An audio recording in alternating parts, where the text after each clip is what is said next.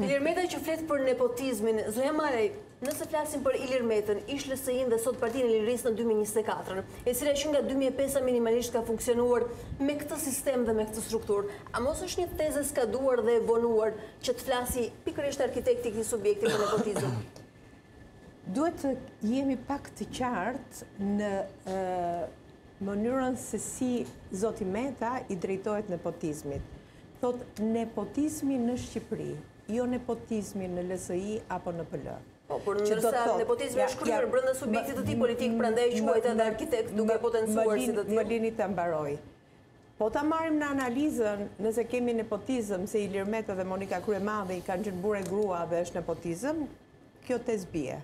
Për arsye se Ilir Meta dhe Monika Kryemadhi u njohën të dy në politikë. Monika Kryemadhi është një grua potenciale që krijoi fizionominë e saj në politikë, në të gjithë shkallët e saj derisa arriti nivelin më të lartë të kryetares së një partie dhe të një forumi politik.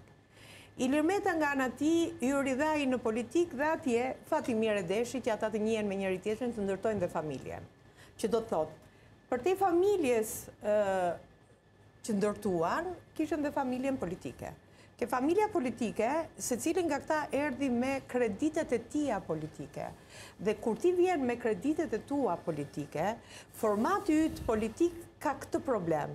Edhe nëse ti e bën shumë mirë një gjë, do marrësh kreditet e partnerit tjetër, se në një mënyrë apo një gjë automatike dhe natyrale.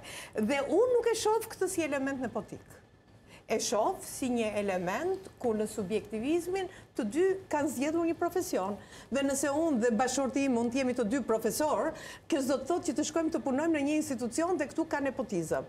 Problemi i nepotizmit, por problemi, domethënë,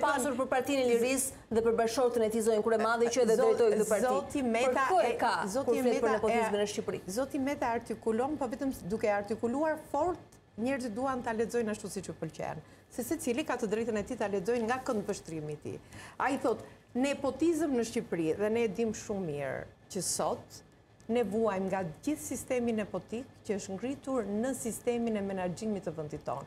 Nuk dua t'u hyj emrave, situatave, ngjarjeve dhe të gjithë situatës si është ndërtuar. Pra, sistemi nepotik duket sikur ka ndërtuar atë mekanizëm i cili nuk na lë frymëmarrje.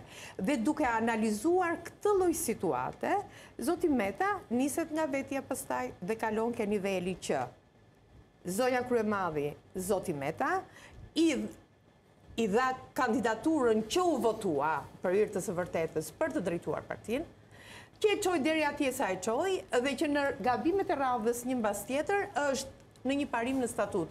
Kur ti merr një parti të madhe dhe nuk arrin dot ta mbash nga shumë e madhe e çon e rrudh, atëherë detyrimisht ne e dimë shumë mirë që duhet të japësh dorëheqjen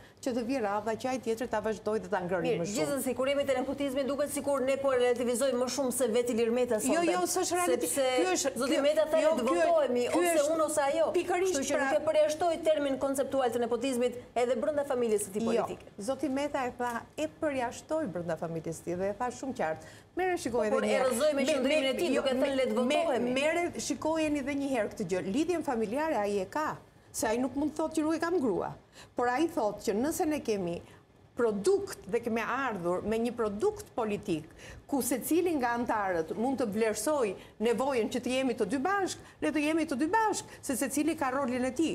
Puna është që përtej kësaj ai trajtoi fenomenin nepotik. Fenomenin nepotik që fillon në politikë dhe rrjedh kur vjen puna në ndërtimin e sistemit.